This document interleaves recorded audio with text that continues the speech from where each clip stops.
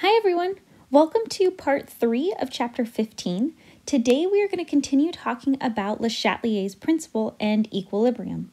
Last time we talked about Le Chatelier's principle with respect to the concentration of the reactants. What happens to the position of the equilibrium if we increase or decrease um, you know, the concentration of the reactants or we increase or decrease the concentration of the products.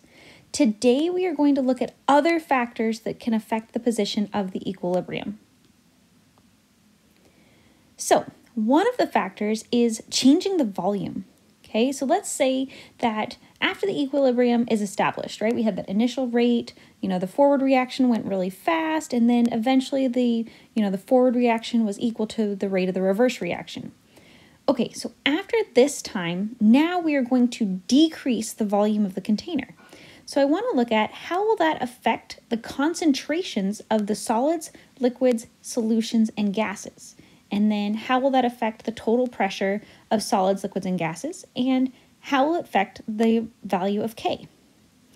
All right, so when we decrease the volume of the container, that is going to increase the concentration of the gases in the container because we're not changing the number of moles, right? But what we're changing is the, you know, is the liters. So if the liters become smaller, right? We're, you know, decreasing the volume, that means our concentration will increase because we're dividing by a smaller number. Okay, so decreasing the volume will increase the concentration. And concentration is directly related to the pressure of the gas right? Remember, when we talk about pressure, we're always going to talk about the number of collisions, okay? And so if we're increasing the concentration, that means we're going to increase the number of collisions that are happening, which increases the pressure, okay? If we, you know, increase the pressure of the gas, we are increasing, you know, the partial pressures of each individual gas. Okay, it doesn't change the concentration of solutions, and if you'll recall, we don't care about solids and we don't care about liquids, right? We're not going to include them in our equilibrium expression. The only thing we're worried about are our solutions, right? Our aqueous solutions and our gases. So if we decrease the volume of the container, that is going to increase the concentration of the gas, but it doesn't change the concentration of the solution because, you know, liquids, right, have a set volume. Um, if all of these partial pressures increase, right, we made it smaller, so now the partial pressure of each of the gases increase, which means that the total pressure in the container will increase. Um, that's Dalton's law of partial pressure, pressures. So if you think about it, you know, P1 plus P2 plus however many, you know, gases are in there is always going to equal the total pressure, right? Those are all additive. That's Dalton's law of partial pressure. So if we start increasing all of these partial pressures, then that means our total pressure will increase as well. Um, so the way that this plays out with Le Chatelier's principle, when um, we are decreasing the volume of the container, right, that is applying um, a stress to the system, right? We have we have increased the pressure in the system, um, and the way that the equilibrium will move, it will shift to relieve the pressure. Um, and the way that it relieves the pressure is it's going to reduce the number of gas molecules in the container. So we're going to look at the coefficients, right? If you'll remember when we were looking at K versus KP, and we added up the coefficients on each side of the equation to figure out how many moles of, you know, of gas were on each side. We're going to do the same thing here. Um, it's going to shift to the side with fewer gas molecules. So if you add up the gas coefficients on each side, it will shift to the side that has, you know, fewer. Okay, um, and then at this new equilibrium position, the partial pressures of the gaseous reactants and products will be such that, you know, the value of the equilibrium constant is always the same. Remember, um, it doesn't matter what pressures we start with or, you know, what concentrations we start with.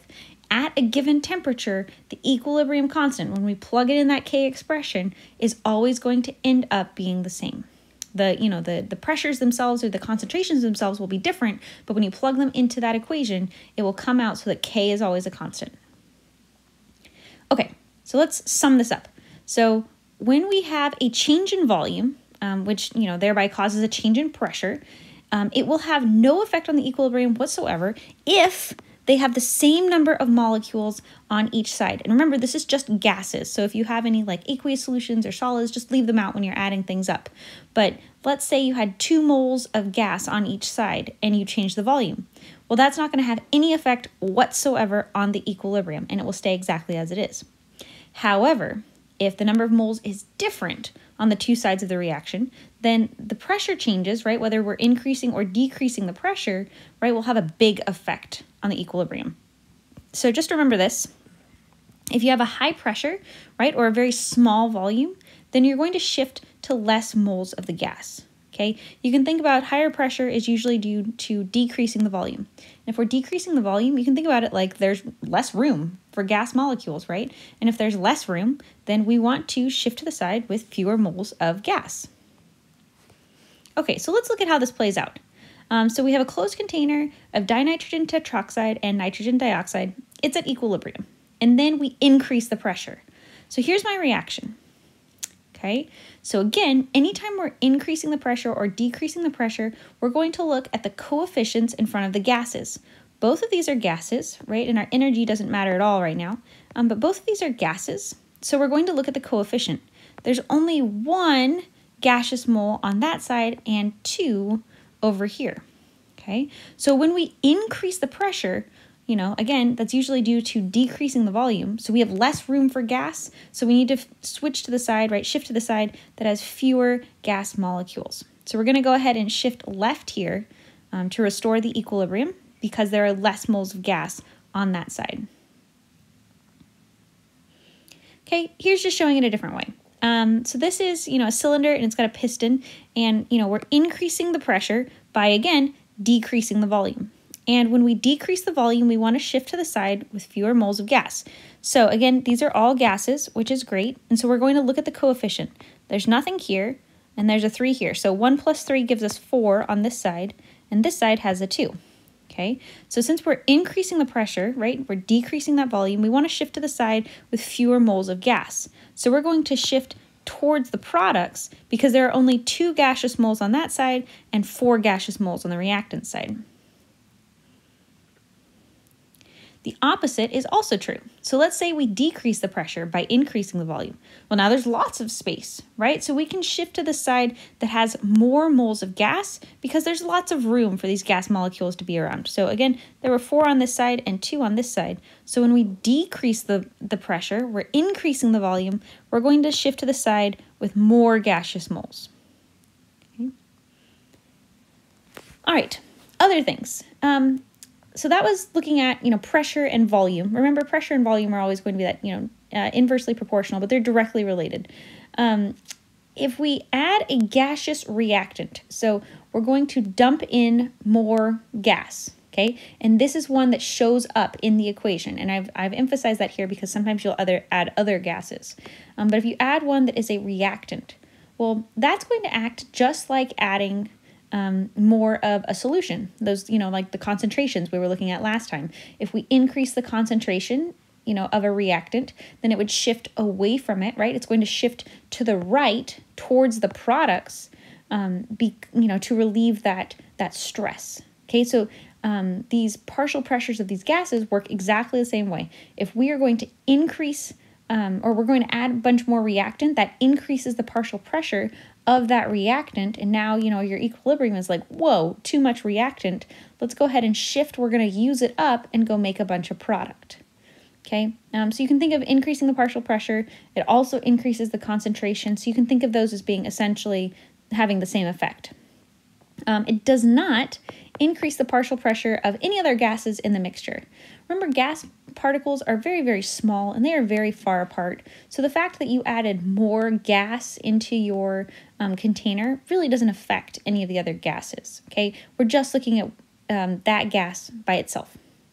Related to that, if you dump in a gas that is not in your reaction, an inert gas, say you dumped in a bunch of, you know, neon or something, um, it is not going to impact your reaction at all because it doesn't show up in your reaction. It is inert, it is unreactive, right? This would be like neon or argon. Maybe you, you know, found some helium you wanted to dump in there. Any of those noble gases that aren't going to react.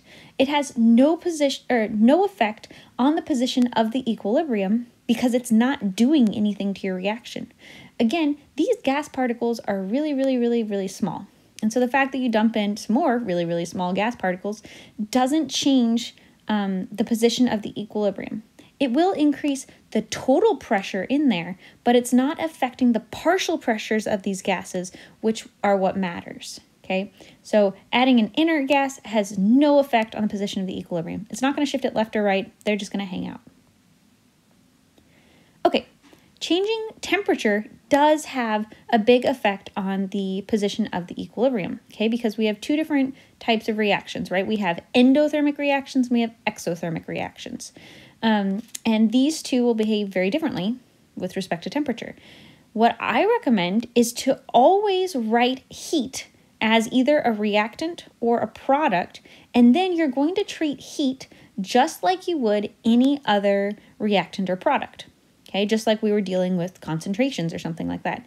Um, and this will help us see whether it's going to shift left or right. Remember, if it's exothermic, it's going to release energy, so that means you're going to write plus heat on the product side. And if it's endothermic, then it's going to absorb energy, so you're going to write plus heat on the reactant side. Okay, so let's go ahead and see what I mean with this. So if we have an exothermic reaction, heat is a product, right?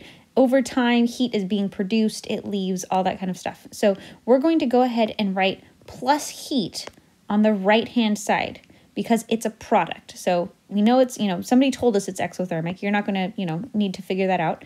Um, what you may do though is I, I may give you like an, a delta H. And if you see that it is negative, that means it's exothermic.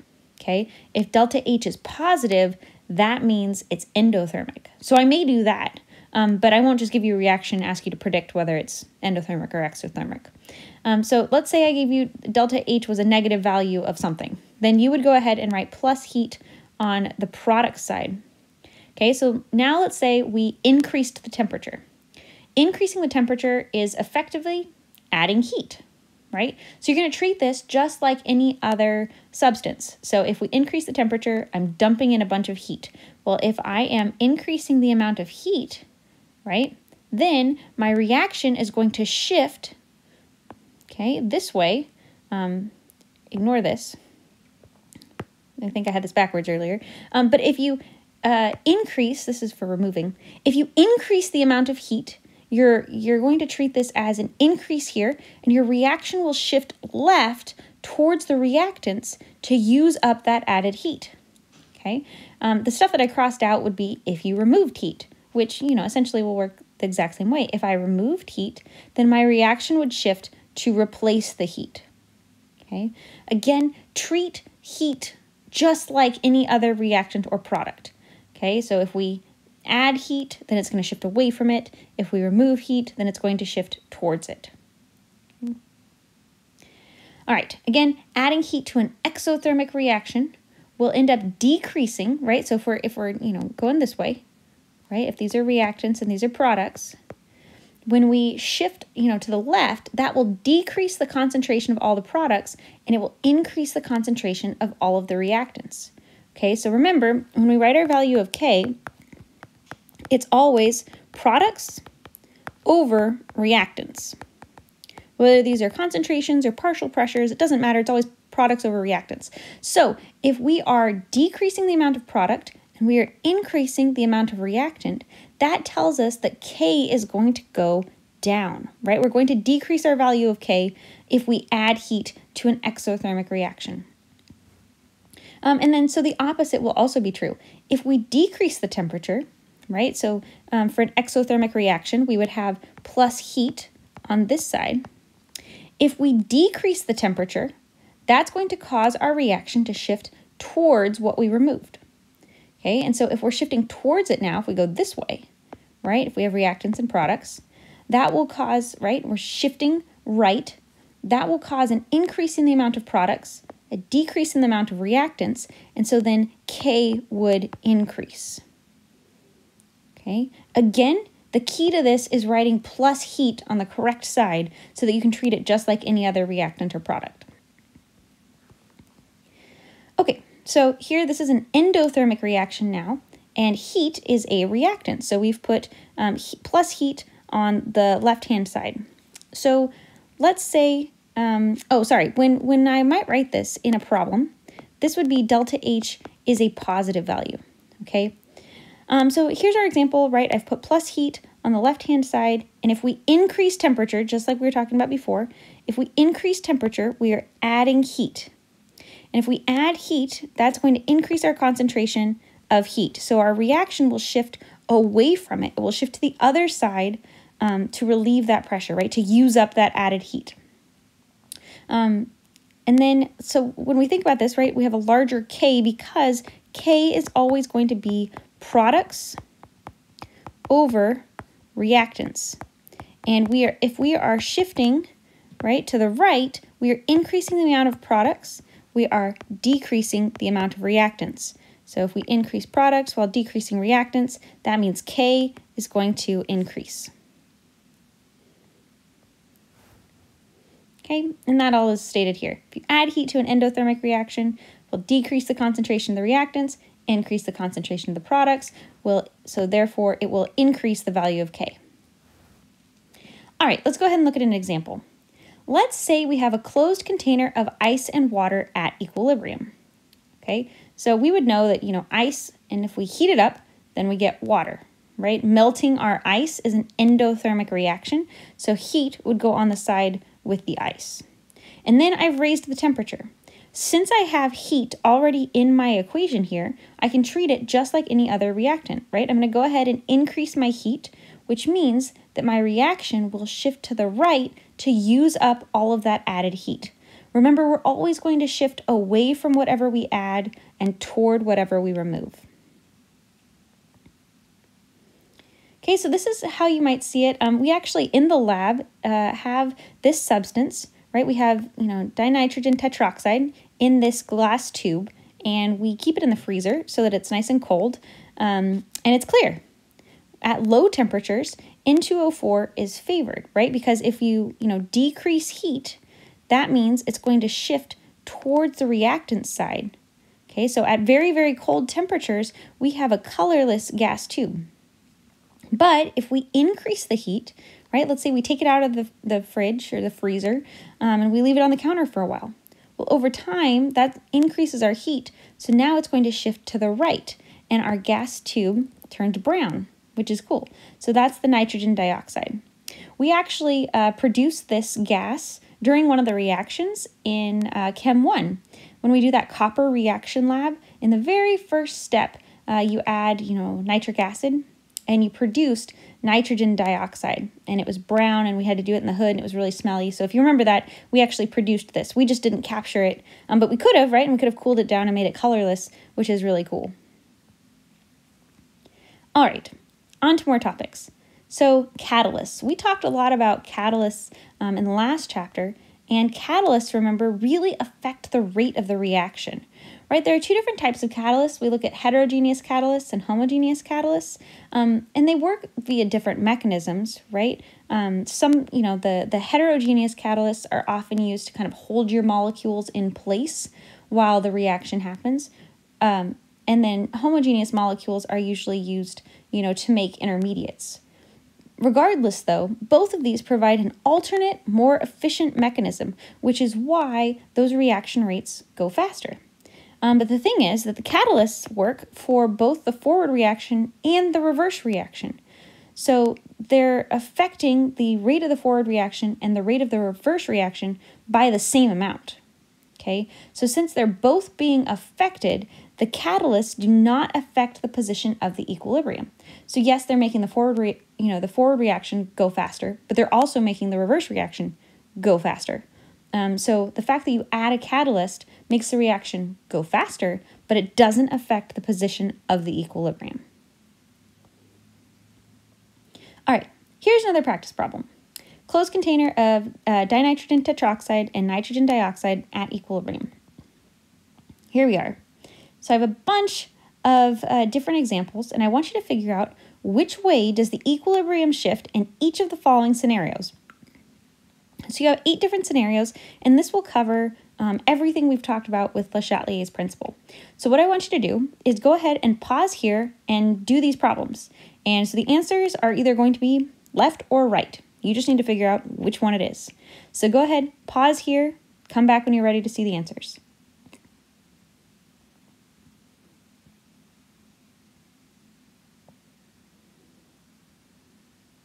All right, let's go over this. so if I add dinitrogen tetroxide, we're adding dinitrogen tetroxide. So our reaction needs to shift away from that, right? It needs to shift the other direction to use it up. So in this case, we will shift to the right. If we increase the pressure, remember, if we increase the pressure, this is likely happening because the volume has decreased. So if we decrease our volume, again, I go through this whole thought process every time, right? Decreasing our volume, that means that there are is less room in our container. Okay, so if there's less room, then I want to shift towards the side with less moles of the gas. Um, here we have one, right, imaginary one on that side, and we have two on this side. And we're going to shift toward the side with less moles of the gas, therefore we are going to shift left. All right, if we add heat, heat is the same thing as energy, right? You can write it either way. If I add heat or I increase the temperature, right, we're going to treat this like any other reactant. So I added a bunch of energy. That means it's going to shift away from it, going to shift to the other side to use up that added heat. If I remove nitrogen dioxide, remember, anytime we remove a substance, our equilibrium is going to shift toward that substance so that it can be replaced, right? We need to make more of it. So we are going to shift to the right to make more of that nitrogen dioxide. If I increase the volume, whoop, spoiler alert, if I increase the volume, um, that means there's going to be more room right in our container. Well, if there's more room, then we're going to shift to the side with more moles of a gas. Again, we have one on this side, two on this side, so we're going to go ahead and shift right here so um, to relieve that stress. If I remove heat by cooling down that temperature, right, so that's the same as energy. If I remove energy, then we're going to shift toward the energy to replace it. So we're going to go left in this case. If I remove dinitrogen tetroxide, okay, so that's a reactant over here. If I remove that, again, we're going to shift towards it to replace what we've removed. So we're going to go ahead and shift left. And then if a catalyst is added, we were just talking about catalysts, and I told you catalysts do not affect the position of the equilibrium. So this one would have no effect whatsoever. It's not going to go right or left because it affects the forward reaction and the reverse reaction by the same amount. Let's try another one. So here we have an equation, um, and here I've included this as kilojoules. Okay, again, this is the same as heat or energy, right? You can see it written all kinds of different ways. So when the temperature is increased, the equilibrium will shift so I want to know does it shift left or right? And when it does shift left or right, what happens to the HBr? What happens to the hydrobromic acid? So go ahead and pause here, figure out which way it shifts and what happens.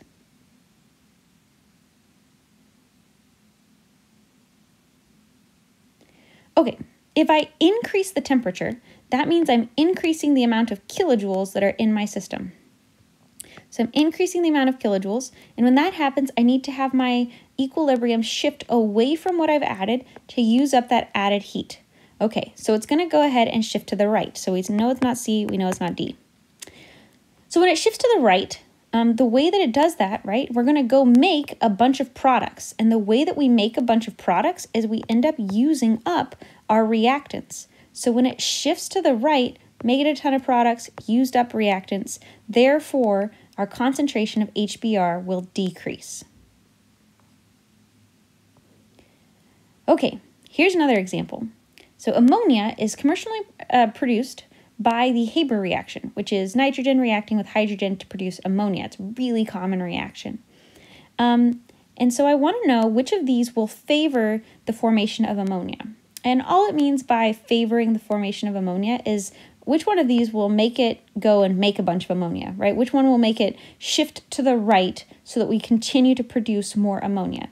Like I've talked about before, usually the goal of a chemical reaction is to produce your products, right? So if we were doing this commercially, you know, the more ammonia we can make, the better off we're going to be, right? The more profit we make. So we need to figure out, okay, how do I make this reaction go farther to the right? How do I make it make more ammonia? So here's your options.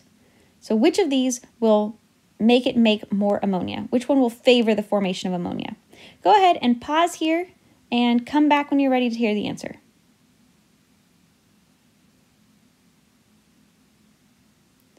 Okay, so let's go ahead and look at these. If I remove N2, right, that's going to decrease our concentration of nitrogen, and that will cause the reaction to shift to produce more nitrogen. So that will make it shift left, and we don't want that, so not that one. If we remove hydrogen, same story, right? Our equilibrium needs to shift to replace our hydrogen, so that one's not right either. If we increase the pressure, right? Remember, when we increase the pressure, we will typically decrease the volume. Okay, so if we are decreasing the volume, we want to shift to the side with fewer moles of the gas. Okay, so this is 2 on this side, and this is 1 plus 3, which gives us 4 total on this side. So an increase in the pressure, which decreases the volume, will shift it to the right, which will cause it to make more ammonia. Yay us. We'll go ahead and look at the other ones too. Obviously, if an increase in pressure worked, then a decrease won't. Um, an increase in the temperature, if we increase our energy, right, an increase in the temperature, that will cause it to shift away from the added energy. So it will shift left instead of right like we want it to. So the only one that works here is C. All right, last little bit, um, I want to look at, okay, well, what does that do to the equilibrium constant? So here's our reaction. A plus B uh, is in equilibrium with C, and our delta H value is negative 25 kilojoules per mole. So this tells you, right, whether this is exothermic or endothermic. Remember, delta H right? The sign of it is important.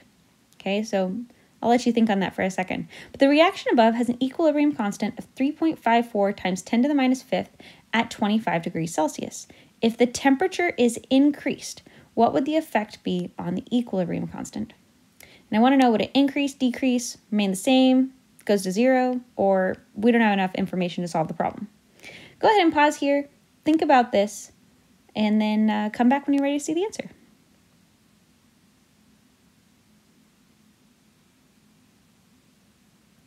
Okay, so like I said, the key here is this delta H value.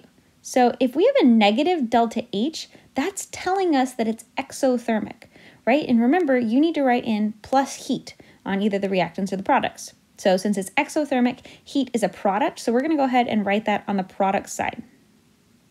So if I um, increase my temperature, I'm increasing my heat right? And when I increase my heat, my reaction will shift away from my added heat to use it up. So an increase in temperature will shift the reaction to the left. So when we shift our reaction to the left, right, we start to make a bunch of reactants by using up our products. So our concentration of our reactants is increasing and our concentration of our products is decreasing. And remember, K is always products over reactants.